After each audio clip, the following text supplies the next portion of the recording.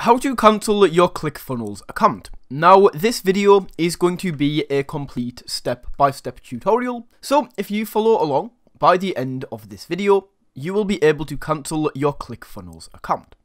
Okay, so to do this, you first of all want to load up ClickFunnels right here, and go ahead and sign in. Now, once you have signed in, guys, all you need to do is hover over your name right here at the top, and then from this drop down menu, click into account setting. That is going to take you over to this screen right here.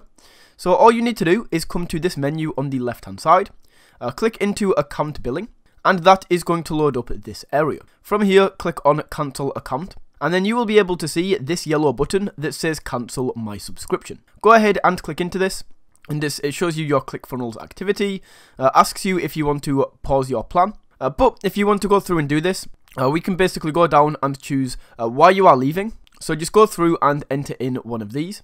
Once that is done, we can now choose another solution that you can use. So uh, you can choose none or other. Uh, how likely are you to return? Enter this in. And anything you'd like to share about your experience, you can type in right here. Then check this box at the bottom that says I understand all of this. And once that is done, click cancel my account. Simply now type in confirm into this box. Then we can click proceed with cancellation. And just like that guys, we can then go through, click on this at the bottom, and we will be taken through to an area where your account will now be cancelled. Uh, so if we just go back up and check, you can go through and see, back into account billing. Uh, your subscription has been cancelled, and that is how you can cancel your subscription on ClickFunnels.